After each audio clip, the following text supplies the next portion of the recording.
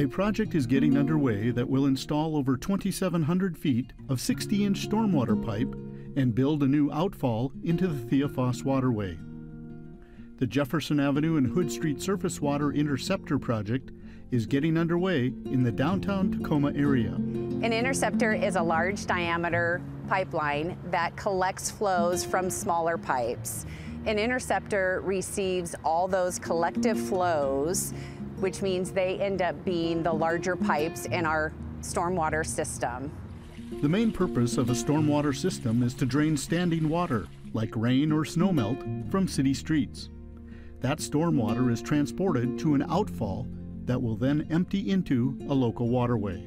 The benefits of this project are creation of jobs for locals under the City of Tacoma Equity and Contracting programs, a reduction in traffic disruption caused by flooding, as well as reduction in property damage also caused by flooding, and an improvement to our stormwater capacity system and allows for future growth.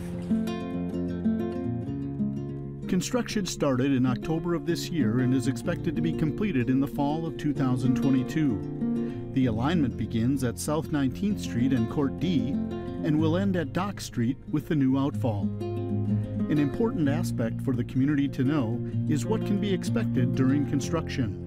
The public may experience parking and delivery restrictions, pedestrian and vehicle detours, and closures if necessary.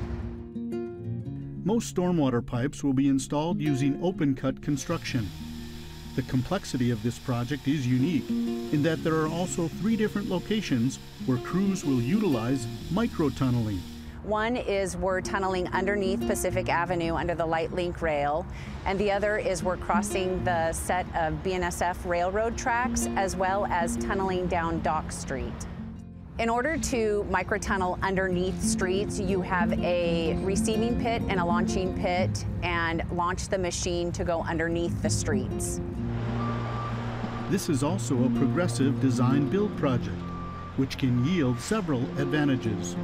And it is to have a single point of contact with the city during the design phase and the construction phase, and the ability for the city to work closely with the design builder during the progression of the design, as well as increases the innovation by having the contractor and the design builder on the same team. It allows for us to better manage our construction related risks.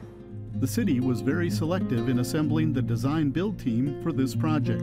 Due to the need to cross a number of significant transportation corridors, the extensive list of required permits, and the sensitive location within our downtown business core. The team consists of Pacific Northwest firms, Kennedy Jenks, and James Fowler, collectively with the city. This project is an important part of the underground network of stormwater pipes in and around the downtown area that will enable the city to improve existing stormwater system capacity